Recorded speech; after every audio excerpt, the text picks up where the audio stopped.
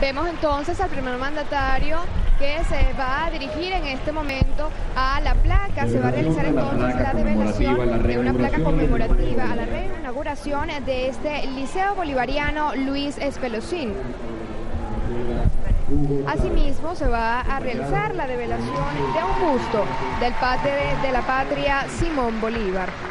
En este momento se encuentra no solo, como les decía, los estudiantes y los docentes dentro de las instalaciones, sino que también se encuentran los líderes comunitarios y es importante resaltarlo porque ellos han hecho posible que toda la reestructuración se dé. En este momento inicia el recorrido el presidente de la República. Recordemos que en este lugar se ha hecho una rehabilitación integral que contempla la recuperación de toda la infraestructura física, sanitaria, el ornato, la construcción construcción de un gimnasio techado, canchas deportivas y de un auditorium de usos múltiples. Asimismo, la construcción de un CEBIT la dotación de mesas, sillas para salones, laboratorio de desarrollo endógeno, biblioteca, la incorporación de una unidad odontológica con una inversión, como les decía, de más de 5.6 millardos de bolívares. Y es que el gobierno bolivariano, una vez más, con la bandera del amor y la paz, ha conquistado vencer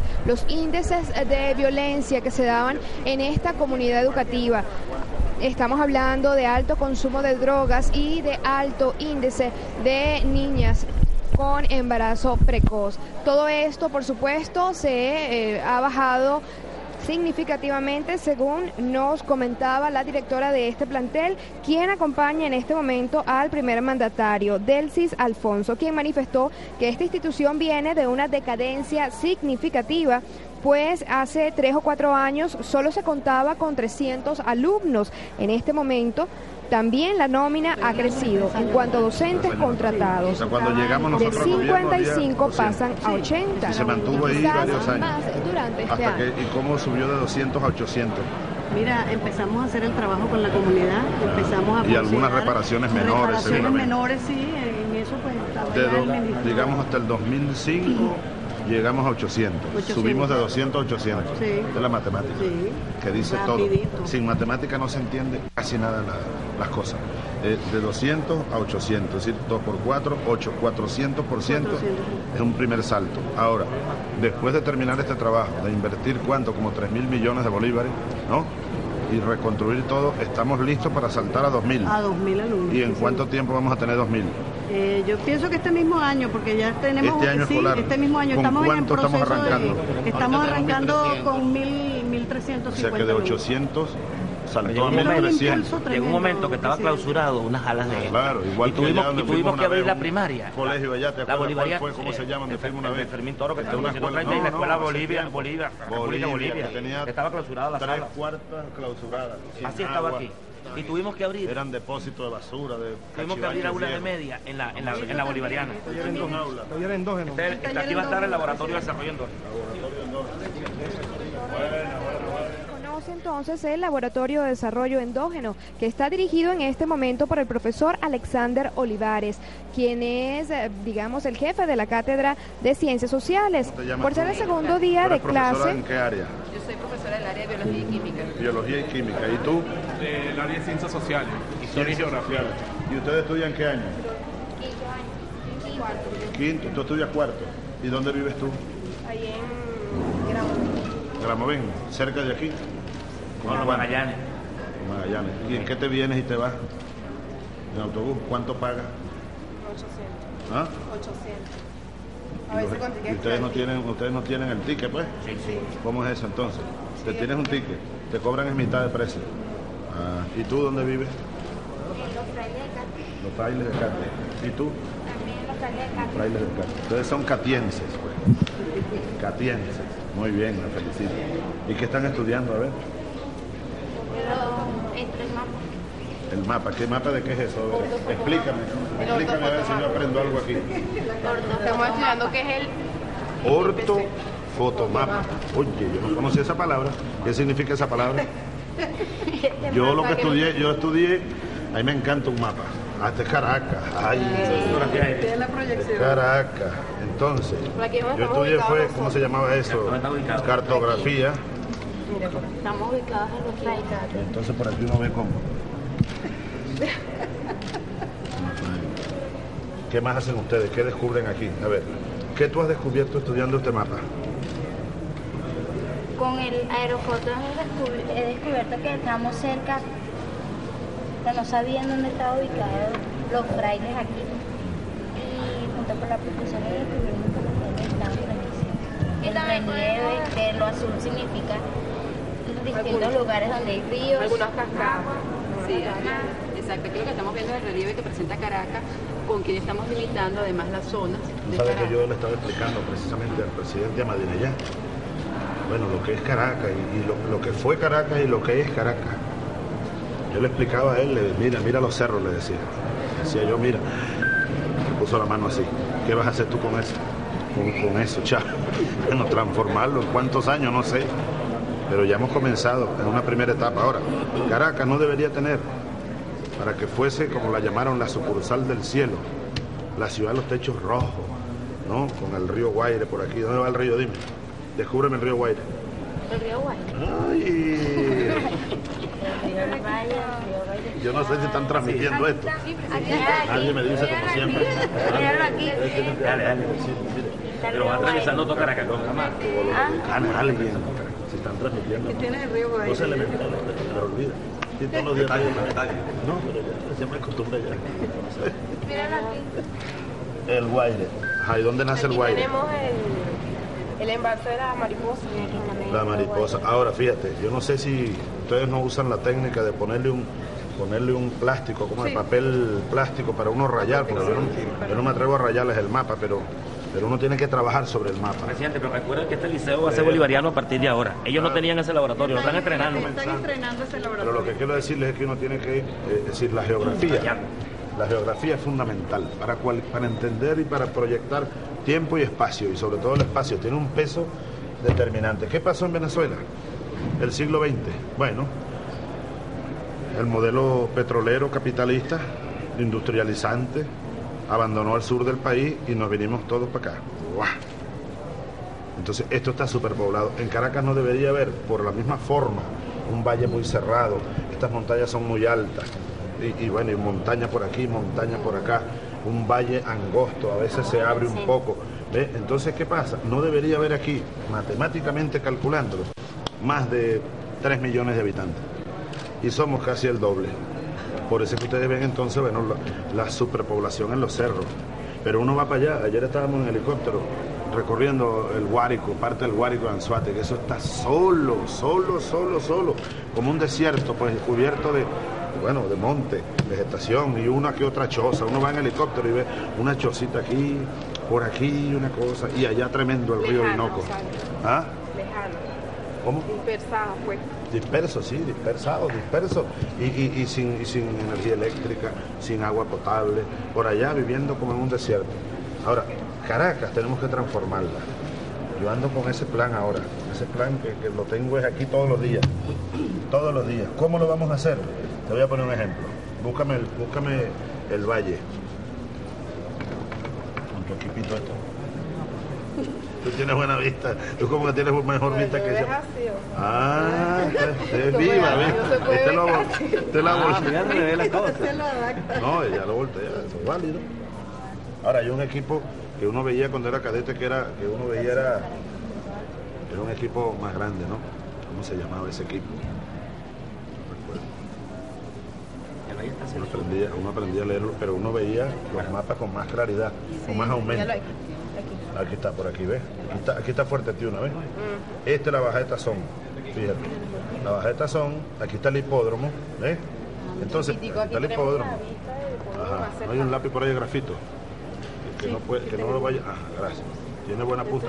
¿Tú le sacas punta con los dientes? No, lo que pasa es que sacapunta no lo saca bien. No, no, no, no, con los dientes no. Es con sacapunta. Le estoy mamando gallo negra. Ajá, entonces fíjate. Por ejemplo aquí está el valle, aquí está Fuerte Mira, correcto. Entonces, por aquí viene el tren. E, este cerro es el que hemos perforado, es un túnel largo a los valles del Tuy, vamos a inaugurarlo pronto. Ah, gracias, Por aquí va a salir el tren, fíjate, por aquí. Por aquí va un túnel, por debajo, y aquí sale y pasa por aquí más o menos. Más bien por aquí, porque llega a la estación en el hipódromo. Aquí va a estar la estación del metro, final del metro aquí, y tú te vas y coges el tren, media hora a los valles del Tuy. Un tiempo que hoy es de 3 y 4 horas, hasta más Aritolo, ¿verdad? La cola, hay que pararse a las 3 de la mañana para esperar la buceta, la delincuencia. Ahora no, tú te montas directo. Y el metro. Aquí. Ya que tú en media hora más 10 minutos estás en la Plaza Venezuela. 40 minutos. Ahora, lo que iba a decir no era eso, sino esto. Aquí hemos detectado. Aquí está el hipódromo, aquí está el poliedro. Mira el poliedro. Mira el poliedro. Aquí hay este terrenal que está aquí. Mira, aquí hay una antena de radio nacional y cosas. Este es un terreno. Todo este terreno lo estamos trabajando. Ya estamos sacando la antena de ahí. Hay que sacarle y ponerla para acá, para acá, para arriba. Ah, ya la bajaron. rápido, bien bueno. Una antena gigantesca, pero de esas antiguas que está en el medio de una bonita esplanada, para hacer unos edificios. Ah, Aquí hemos hacer unos edificios y además un centro de convenciones. Venezuela no tiene, nosotros no tenemos. un centro de convenciones para hacer eventos internacionales. Tú tienes que irte a encerrar por aquí, en un hotel de aquí. Cuba tiene tremendo centro de convenciones, por ejemplo, para hacer eventos internacionales.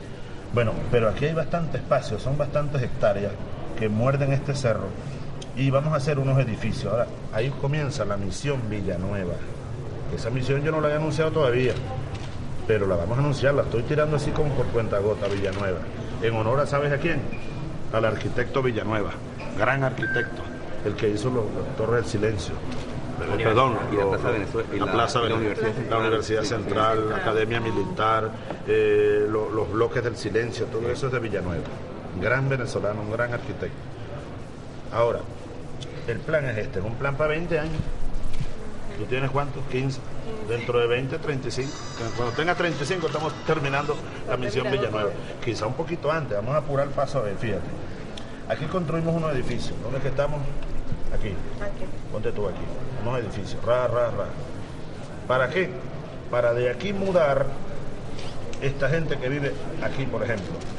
Vamos a seleccionar los sitios más más vulnerable. Un barrio completo aquí vulnerable, de, de, esas casas o ranchos que están una sobre otra y tal. Entonces, la gente, este es el primer paso, construimos aquí. Segundo paso, este barrio X se muda todo para acá, todo, a, pequeños edificios de apartamentos. ¿Ve? Eso requiere la participación de la comunidad. Incluso esta comunidad tiene que participar en la construcción de estos nuevos edificios, participar en su y, discutir y opinar. un beneficio para ellos. Para ellos. Y por ejemplo, si tú vives aquí, si tú vives aquí, tienes una casita que te costó, bueno, 20 años, bloque tras bloque, y tienes ahí tu familia, tú me vas a decir, Chávez, pero me vas a tomar mi casita que me costó tanto.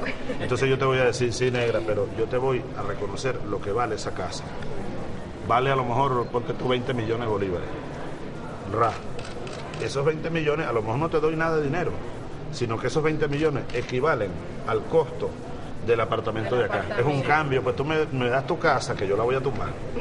Porque uno quiere mucho su casa, por más humilde que sea, uno quiere su manguito, uno quiere lo que uno hizo. Pues entonces a uno le duele siempre dejar su casa aunque sea de palma. Sobre todo esas que tienen patio. Esas que tienen patio y todo pero es por el bien de todos. Yo sé que la mayoría lo va a entender y lo que no es, bueno, hay que explicarles, incorporarlos a todos. Entonces, se muda todo este barrio para acá. Y aquí entonces llegamos con las máquinas. Tercer paso. Máquina. ¿A qué? A tumbar todo. A tumbar todo. Y hacer una terraza ahí bien bonita y entonces a construir aquí donde se pueda construir. ¿Y a construir. ahí para construir? Construimos nuevos edificios, bajitos, de cuatro o seis pisos. Ahí ¿no? ahí donde estaban las casas. Fíjate cómo vamos a ir. Y después, entonces, a lo mejor este barrio de aquí, completo, se muda para acá. Y así vamos. Y así vamos, ra, ra. Parte por parte. Ah, y al mismo tiempo empezamos por aquí, empezamos por aquí. Y yo, yo tengo la fe de que en el 2021 Caracas será 15 años. Eh, quizá menos, vamos a ver, porque eso va a costar mucho dinero eh, esfuerzo y, mucho trabajo colectivo. ahí Bernal va a cumplir una tarea impresionante, eh, Juan Barreto, las comunidades, para que Caracas sea otra vez la sucursal del cielo y nos podamos bañar en el río, en el Guaire, ya lo estamos saneando, ¿eh? Estamos saneando. Ellos tienen la experiencia del cambio del propio Palucín, del propio liceo, como estaba. Ah, ya ustedes han visto. ¿Cómo estaba el liceo? Ustedes vieron, ustedes estudiaron aquí desde el primer año. Aquí, no, llegué año. Cuando tú llegaste aquí, Cuando pasé para cuarto. Llegaste aquí. ¿Y tú? Al cuarto. ¿Y tú también? De séptimo, Ah, Pero ustedes vieron, tú estás aquí desde, desde el primer año. de primer año. ¿Tú viste el desastre que vi aquí? Sí. ¿Ves cómo está ahora? Bueno, igual. Aristóbulo, que es un buen maestro. El ejemplo así va a ser Caracas. Uno va para otras ciudades, de países hasta más pobres que nosotros, y, y son ciudades bonitas, donde no hay basura en las calles, donde, donde todo está en su sitio, hay buenos jardines. Así tenemos que poner a Caracas y a las grandes ciudades, pero hay que empezar por Caracas, que es la capital y la que tiene más problemas. ¿no? ¿Cuál es la diferencia en- en- en- o una de las grandes diferencias entre esta Caracas aquí de donde está eh, Prados del Este, por ejemplo, aquí está el Cafetal, ¿ves? El Cafetal, todo esto aquí, San Román, la zona de clase media y, y rica, media alta, pues. Que aquí sí trabajaron con máquinas, aquí metieron inversiones, es decir, ahí lo, cortaron la- los cerros, hicieron terrazas, hicieron buenas calles, dejaron espacios para, para estacionar los vehículos, para campos deportivos, Servicio. servicios. Entonces tienen agua, este, teléfono, buena, buena energía eléctrica. Aquí ustedes ven cómo la gente pobre tu- tuvo que agarrar un cable, guindarlo y pegarlo a su casa. El gas. O, o no, el gas, o no hay donde corran las aguas sucias y a veces corren por la mitad de la calle. A lo mejor ustedes de niñas eh, crecieron corriendo entre aguas, agua- aguas sucias, con olores eh, feos, ¿verdad? Pero es producto de eso. ¿Ah? Olores desagradables. olores desagradables, pero no es culpa de tu mamá y tu papá, es que tuvieron que batallar contra la miseria, ella vive en así. contra la miseria, contra la vive, pobreza. Ahora ustedes son una bendición de Dios, ¿ves? Crecieron entre la pobreza. Y yo les juro que nosotros no descansaremos para que cuando ustedes tengan sus hijos y ya y vayan creciendo, no vivan como ustedes vivieron, ¿eh? sino que vivan mucho mejor, con la mayor suma de felicidad posible. Que Dios me la bendiga, pues. ¿Alguna pregunta? ¿Alguna pregunta? ¿Sabes qué vamos a hacer Un detalle, un detalle que los, que los alumbra a ellos, presidente. Y es que, presidente, esta sala es la que vamos a ir enriqueciendo para toda esa dinámica que tiene que ver con el satélite.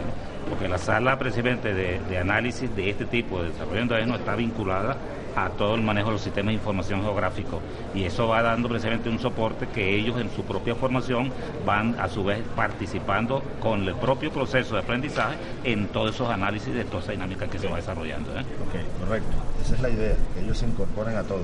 Por aquí está la avenida Baral, ¿verdad? Por aquí debe estar la Baral, Y por ahí bajando. por aquí bajando. Por ahí bajando. Aquí termina la Cotamil, ¿ven? Ahora tenemos un proyecto que continúa la Cotamil por aquí. Tenemos un proyecto por aquí. Incluso esas casas las habían marcado. pues. Sí, están censadas ya.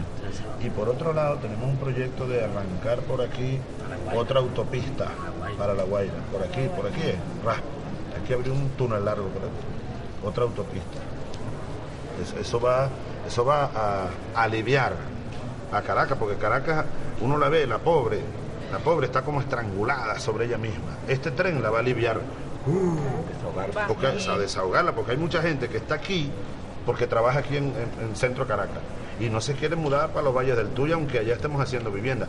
Pero Dios mío, cuando tú tengas ya el tren, que ya faltan apenas dos semanas, tres semanas para inaugurarlo, bueno, tú trabajas aquí en el centro de Caracas, ponle tú en la Torre de la Previsora, agarras el metro en Plaza Venezuela, en menos de 10 minutos estás aquí, te montas en el tren, ¡guau! directo a tu casa. O sea, Caracas ya, Caracas va a ser la gran Caracas ahora sí va a ser posible, hasta, hasta los valles del Tuy. Vamos a hacer un metro hasta Guarenas Guatire. Mucha gente que no se quiere ir para allá porque el tráfico ya es duro, pesado. Entonces uno, oye, hay que pasar tres horas para llegar allá. Yo prefiero vivir arrimado aquí en un cuartico ahí porque estoy al lado de mi trabajo, para no perder el trabajo, de la que paran a las mañana, 3 de la mañana. Y a lo mejor, bueno, tengo la familia ahí arrimada en otra en la casa de un vecino. ¿Ves? ¿Por, por qué? Por el trabajo, por la necesidad. Pero ya Caracas va a alargar su brazo para allá. ¡guau! Su brazo para acá. ¡guau! Y su brazo, otro brazo Sí, para la acá. Gran. Entonces va a ser la Gran Caracas. Vámonos, porque si no se nos hace muy tarde. Y yo tengo que salir para Nueva York. Que Dios me la bendiga, pues. estudiantes de primer año de bachillerato y asimismo con los profesores Josefa Brusual de Comercio, Alfredo Sánchez del área de Informática y Geri Uzcategui del área de Química. Estos tres profesores trabajarán de forma aquí, ¿no? Entonces serán los cuadernos hechos en Venezuela. Aristóbulo. Serán hechos por, por la gente nuestra de aquí dice hecho en Venezuela, fabricado y exportado por May Exported Benepal, by Benepal en inglés. Benepal, esta es la empresa que nosotros recuperamos para los trabajadores. Ahora están haciendo los cuadernos. todos los papeles se los compramos a Benepal. Hay que, pero esto lo hacen, los cuadernos lo hacen ellos, mira. Hecho y exportado por Venezuela, Compañía de Nación Industrial San Vicente, Benepal, ¿ves? Esto hay que mostrárselo a Venezuela, porque antes importamos hasta los cuadernos. Uno de los factores con mayor incidencia fue la basura, la seguridad y la salud, lo que podría marcar el proyecto que se está desarrollando en fase de diagnóstico en este, en este instante en esta aula de clase.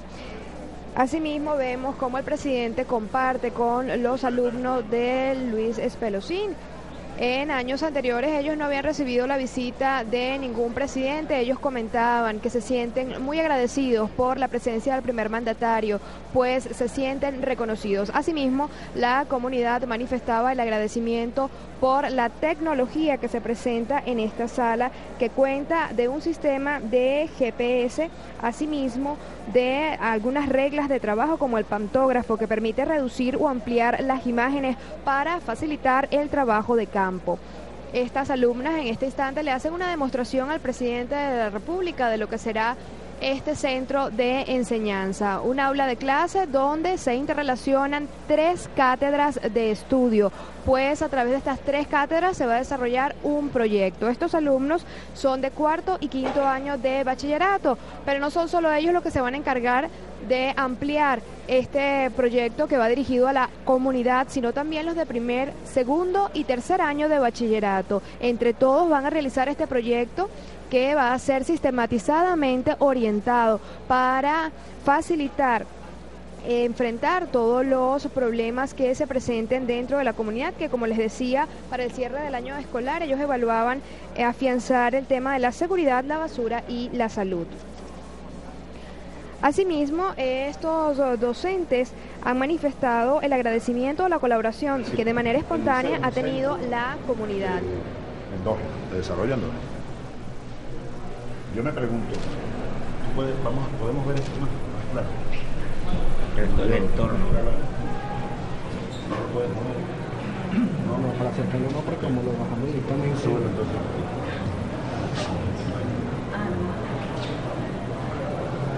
Vean, vean ustedes.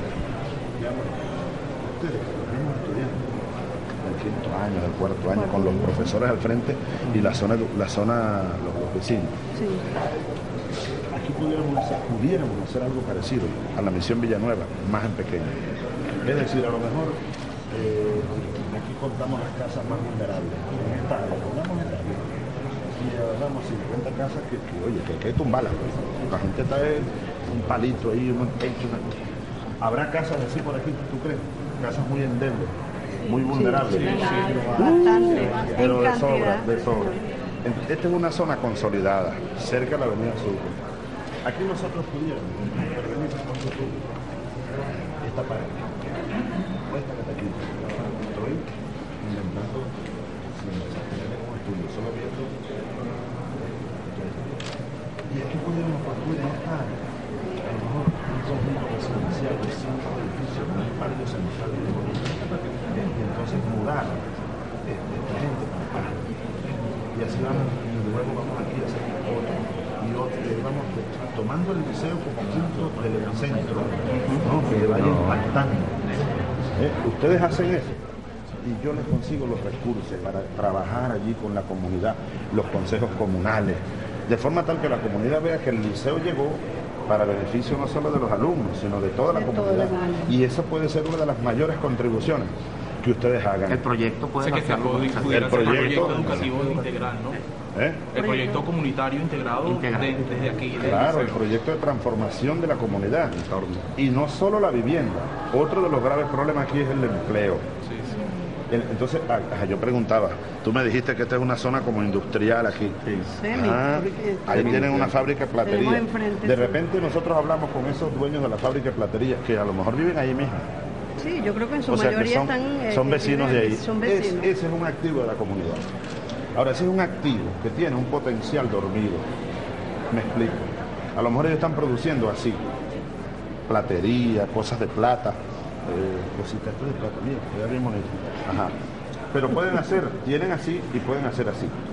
Si tuvieran más máquinas, más capital, más recursos, pueden, incluso algunos de ustedes trabajar allí. La misma mano de obra sale la mano de, la comunidad, obra pues. de la comunidad pueden poner aquí en el patio una escuela de platería. Podemos nosotros ayudar, Freddy, con, la CBG a traer plata este, más barata, su materia prima, insumo, más barato. Le podemos dar un crédito, pero con el compromiso de que vayan colectivizando la fábrica o multiplicándola, pues, que ellos vayan enseñando, mira, ustedes son los dueños, ¿ok? Respetamos su propiedad, pero bueno, ustedes son de la comunidad, le podemos ayudarlo con materia prima, con unas máquinas más modernas que podemos traerlas de, Irán o de no sé dónde, de Alemania, Ajá, se las damos a crédito. Ayudamos incluso a colocar la producción, ¿eh? Fábrica de platería Luis Pelosín. ¿Eh? Y empezamos a darle con la plata, la plata, los cristos de plata, tal y cual. Y a vender cosas y eso va generando puestos de trabajo para la propia comunidad. A lo mejor aquí, ¿esto qué es? Escuela. Esa es la escuela Agustín Abelero.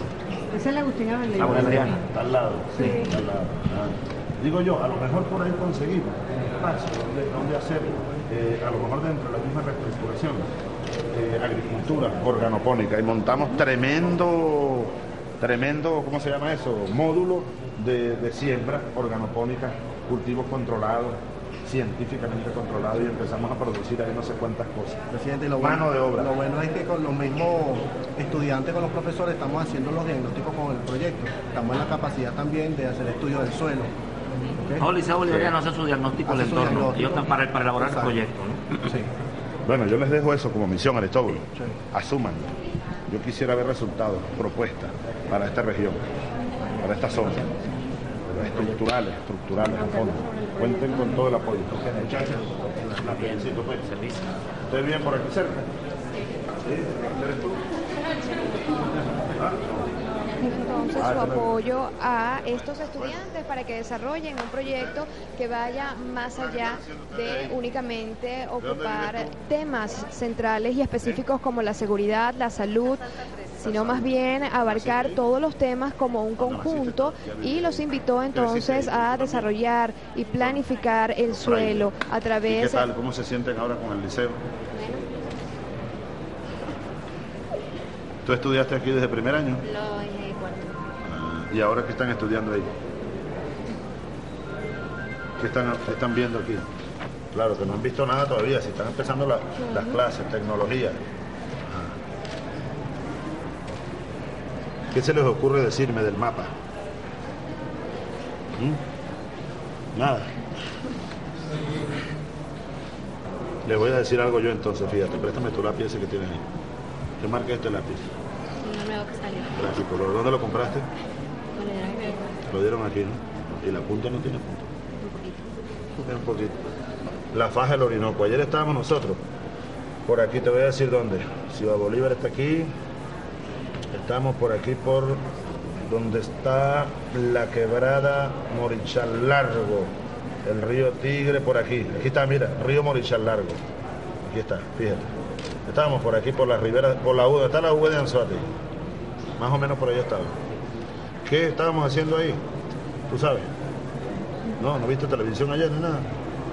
Estás descansando, es la flojera. La faja del Orinoco, yo lo expliqué ayer esta es una gran faja de petróleo. Estamos comenzando, es la más grande del mundo. Y eso es de ustedes, de todos los venezolanos. Y ahora estamos metiéndole un proyecto, bueno, para que sirva para el desarrollo, para tener más recursos, para todo lo que es la educación, la salud, la vivienda, ayudar a las comunidades campesinas, modernizar toda esta región, construir nuevas ciudades. Aquí vamos a hacer una Aquí vamos a hacer otra, donde está el segundo puente, el Orinoco, aquí que lo vamos a inaugurar en octubre, el mes que viene. Por aquí vimos una carretera nuevecita que está pegando con el Tigre, fíjate. ¿Dónde es que está la viuda, Aristóbulo? ¿Tú qué? ¿Sabes? ¿Conoces esas carreteras? Por aquí, por aquí, ¿verdad? Aquí, ok. Una carretera nuevecita que está aquí del segundo puente para acá y otra que va para Monagas. ¿eh? Y esta es la gran reserva de los pinos de Uberito. Ayer la cruzamos. Los pinos de Uberito. En esta parte. Sí, toda esta parte acá. Cruzamos allá, la carretera la cruza, volamos en helicóptero, viendo esta belleza, una belleza sabana. Bueno, estudien pues. Las quiero mucho, muchachos. Que Dios me la bendiga. ¿En qué año estás tú? ¿Tú también? ¿Qué van a estudiar después? Ay, ya, ya, ya, ya, ya te pisé. Ya te pisé, no tengo el tiempo ni la foto. ¿Qué van a estudiar? ¿Tú qué vas a estudiar? ¿Ah? Criminología. Criminología. ¿Y tú? Dibujo arquitectónico. ¿Ah? Dibujo arquitectónico. Dibujo arquitectónico. ¿Y ya empezaron a estudiar algo de eso? A leer por lo menos. Vayan leyendo cosas. Dios me las bendiga pues. Una foto, todo el grupo aquí, vengan aquí en el centro, vengan. Vente tú también, que tengo que irme ya. ¿Y ustedes qué hacen ahí? ¿Qué están haciendo, Flaco? Tú eres el único hombre aquí en este salón. Bueno, te felicito. Eres- ¿Y esto qué están haciendo? Esto es el wire. Están midiendo los... ah, están actualizando. Vamos aquí pues, con el mapa. Vengan. Pónganse todos aquí. Pero que salgamos todos, que salgamos todos. Aquí, ajá. Los estudiantes en este segundo día del calendario escolar realizan un reconocimiento y se familiarizan con esta nueva visión de la educación. Son nuevos proyectos que abren paso a una educación más realista, una educación que va más allá de ser partes o formar partes de una empresa, sino que les orienta como empresarios.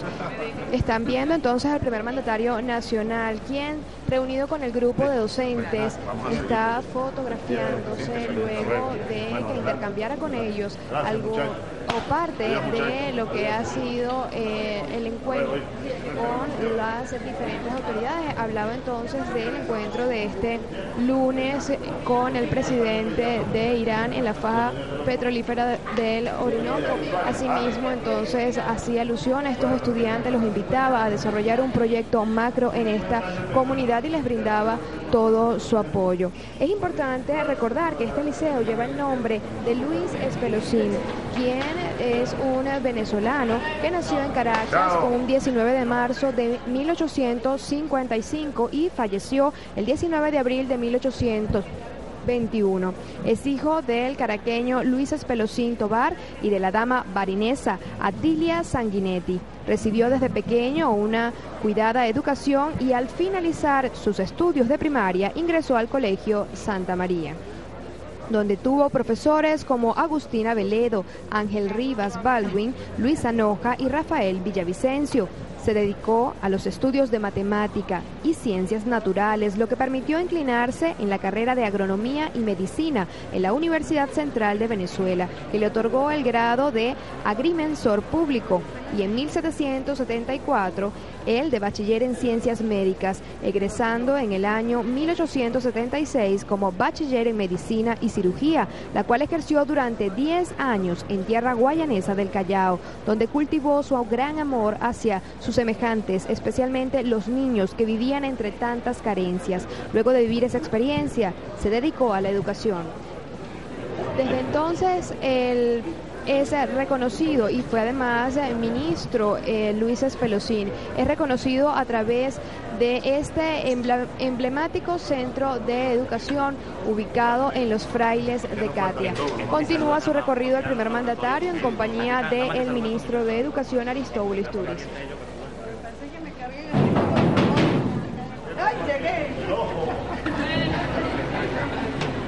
Entran en este momento de los salones. Vamos entonces. La misión milagro. ¿Dónde, dónde está el cristalino? Y tú sabes, tú sabes una enfermedad que le da mucho, sobre todo a la gente ya de edad, y en algunos casos es hereditaria. ¿Cómo se llama? Que se, se La pone- presbicia. La presbicia es una, pero hay otra que es que el, el cristalino se pone opaco. Ah, la catarata. La catarata, correcto. Ustedes saben bastante. Ahora, la operación milagro, la catarata entonces, la gente no ve, termina ciego, o sea, no ve. Se llama catarata porque parece que uno tuviera por delante una catarata, como si mucha, tuviera una corriente, una, caída de agua ahí. Es oscuro, es nublado, pues. No ve. Entonces, la operación es sencilla. El año pasado llegamos a 200 mil venezolanos en Cuba, porque Cuba tiene un adelanto impresionante. Ya aquí estamos operando también venezolanos y también ecuatorianos, colombianos, caribeños. Sencillamente se saca el cristalino y se introduce un lente intraocular. Y tú ves, hay un viejito de 90 años que tenía 40 años sin ver. Imagínate tú, no veía, entonces le pusieron eso y él casi se muere de la alegría. Otra vez a mirar el sol, me dijo, a mirar en la cara a mi viejita, a mirar en la luna. Hay que ver lo importante que es ver, ¿verdad? Una cosa, por eso Fidel le puso misión milagro, la catarata y muchas otras cosas, enfermedades. a veces un golpe. Exacto, de golpe que tú la vista. ¿Y tú eres profesor de aquí de la vida? De ¿Y usted es estudiante de quinto año? Sí. Usted es laboratorio de biología. De biología. A mí sí me gusta la biología. Es bella, claro. Me gusta, lo que no me gustó nunca fue la química. Pero también es bella. La química no, yo tenía un profesor, un profesor que le decíamos venenito. Entonces, no sé, a lo mejor eso o no sé por qué, la química nunca me gustó, las fórmulas aquellas CHOH. Ah, ah, esa química. química orgánica. Ah, Bernal, ¿tú estudiaste química? ¿Te gustó la química? No, depende del profesor. ¿Ah? Depende del profesor. Depende. En cambio, la biología yo tuve de profesora, que era mi profesora guía, además, Carmen Materán. Ella era, ella era excelente, pero era dura, pero exigente. Y así es que debe ser. Pero era mi profesora guía de primer año de bachillerato. Y entonces yo ella me, convirtió como en un pupilo, porque yo estudiaba bastante, yo le hacía los dibujos, por ejemplo ese dibujo yo lo hago, me pongo y lo, hacía, a veces en anime para las exposiciones. y yo iba a la casa de ella eh, a, dibujar allá, tenía su marido, su hermana, su hija pequeña, y estudiar, ella me decía, estudia esto, estudia lo otro. Me leía mucho el mensaje a García. ¿Tú has leído el mensaje a García? No, no lo he leído. Es una carta, que es el mensaje a García de la carta que ella. ¿Y en la escuela lo leí la, la profesora? En la escuela, a todos los alumnos. Se acostumbran en las academias, pero. No, ella lo leía. Todos los lunes había guiatura, una materia de guiatura. Claro. Y ella todos los lunes nos leía, nos ponía a leer. Hugo Chávez, venga, lea el mensaje, el otro Aristóbulo. Entonces uno se paraba ahí a leer el mensaje a García, es decir, tú tienes que cumplir la misión. No me importa cómo, tú llevas este, este mensaje a García.